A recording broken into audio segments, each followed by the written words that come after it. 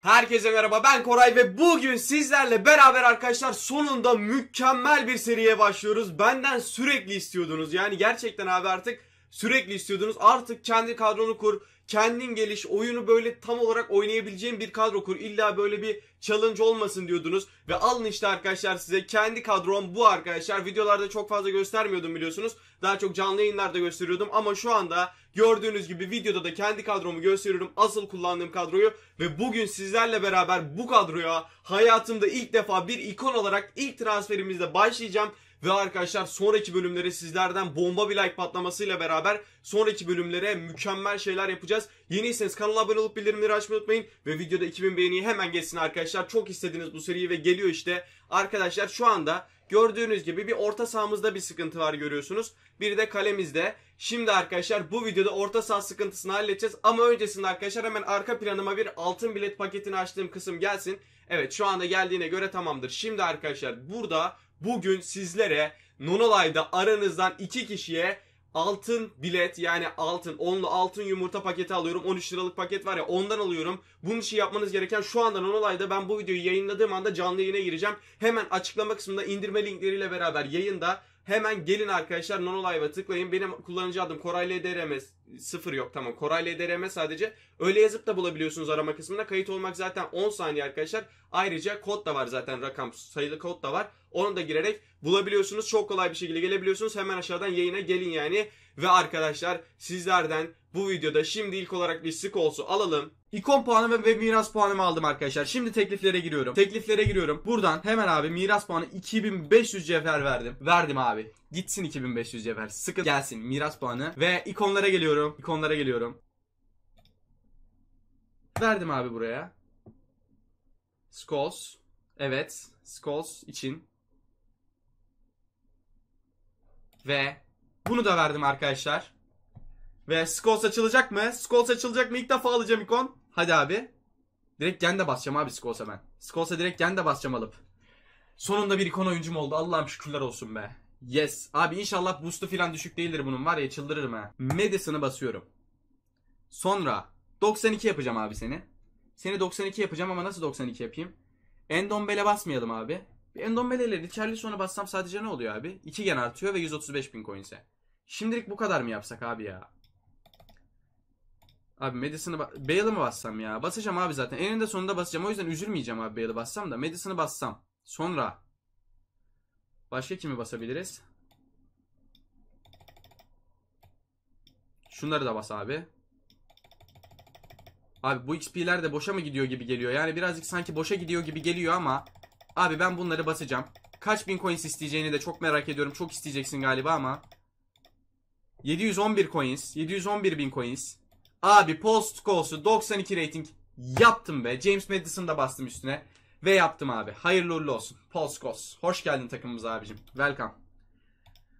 Skols'u aldım. Evet arkadaşlar Skols'u aldığım kısmı izlediniz ve şimdi sizlerle beraber hemen buraya bir gelelim abi. Skols'u bu kadroya koyacağım abi. Hemen bakın 110 gen 111 gen 110 gen 111 gen hemen 111 gen yaptık arkadaşlar ve kaleci için arkadaşlar Donnarumma'yı yayında bile benim almamı çok istiyorsunuz ve gördüğünüz gibi sırf bu seri için mükemmel bir şekilde coins yaptım. Premier Lig serisine de başlıyoruz, başlıyoruz biliyorsunuz arkadaşlar. Onun için de coins var gördüğünüz gibi. Yani coinsleri biriktirmeye devam ediyorum arkadaşlar. Şimdi sol kanatımız birazcık sıkıntılı ama iyi bir kart var arkadaşlar yine de. Fena bir kart değil. Hani falsosu falan gerçekten çoğu oyuncuya göre çok daha üstün Hakan Çalhanoğlu'nun.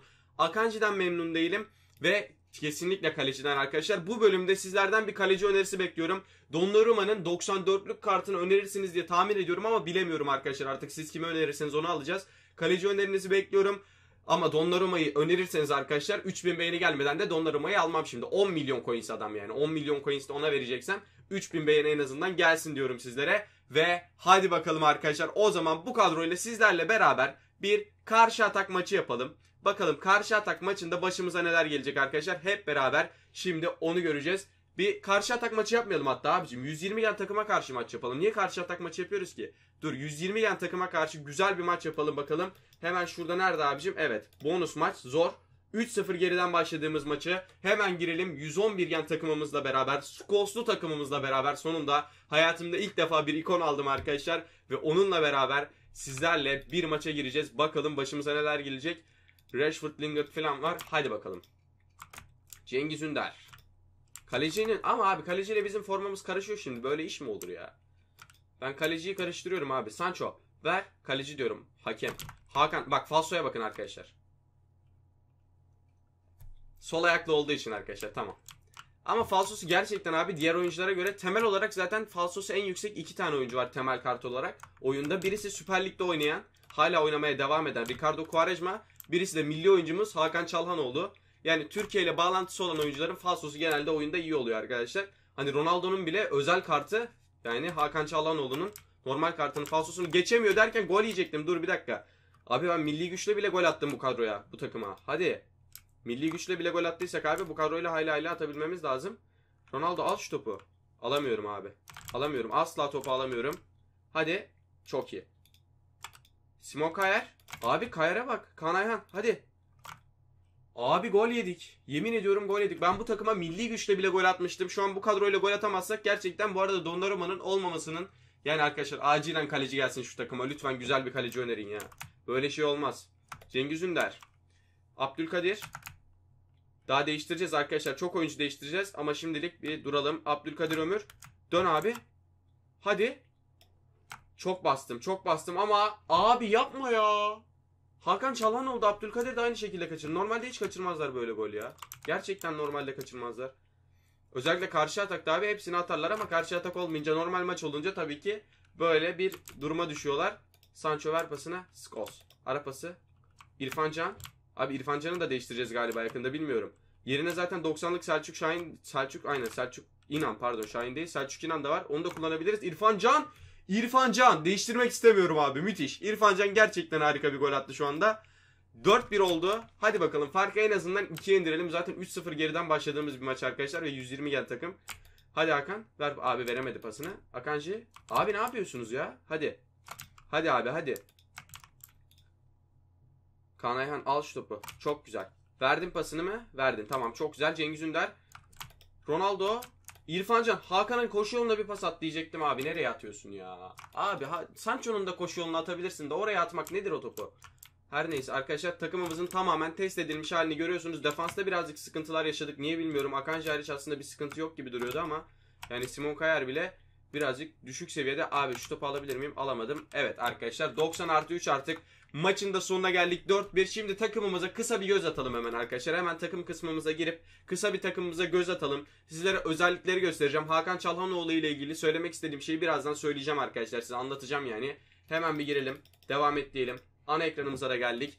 Burada arkadaşlar gördüğünüz gibi Hakan Çalhanoğlu'nun 90 reytinglik bir kartını görüyorsunuz. Ve 96 falsosu var. Bak Hakan Çalhanoğlu normal kartı 96 falso. 90 rating. Ronaldo'ya giriyoruz. Ronaldo'nun arkadaşlar özel kartı 94'e yükseltilmiş. Özel kartı 82 falsosu var. Yani aradaki farkı görüyorsunuz arkadaşlar. Ama Hakan Çalhanoğlu'nun ters ayağı muhtemelen düşüktür. Zayıf ayak reytingi 4'müş aslında. Yani 3 gibi duruyordu bence ama 4'müş. 5 olsaydı ama var ya gerçekten dünyanın en iyi oyuncularından biri olabilirdi. Ronaldo'nun zayıf ayağı kaç? Ronaldo'nun 5 mesela abi. Fark etmiyor Ronaldo için. Cengiz Ünder'e de bakalım. Cengiz Ünder'in de 4. Ve son olarak abi Scholes'a bakacağım. Scholes'un da 4'müş. Scholes'un falsosu kaç? 84. Ama arkadaşlar zaten 80 üstü iyi. Yani Hakan Çalhanoğlu'nun ki çok üstün seviyede iyi galiba. Çünkü gerçekten bu kadar iyi olması gerçekten garip.